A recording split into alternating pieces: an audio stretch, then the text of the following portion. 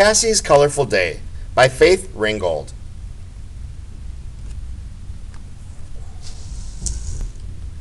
Daddy has taken me out for a surpri- surprise treat. Mommy bought me a new red hair ribbons to wear.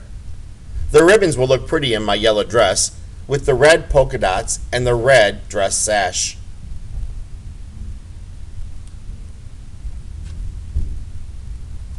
If it's cool, I'll wear my blue coat with the white buttons, collar, and cuffs.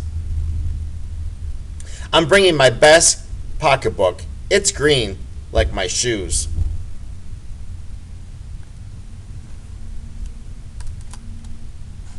Daddy gets all dressed up in his black and white shirt and gray necktie.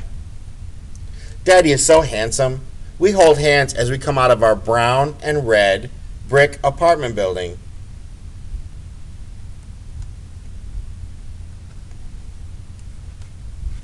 Lots of people stare at us as we get into our new purple car.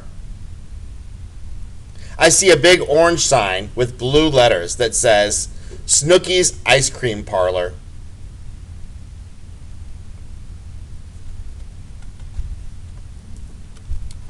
Daddy orders a pink strawberry ice cream soda with whipped cream. And I have my favorite hot chocolate fudge sundae with whipped cream and a cherry on top.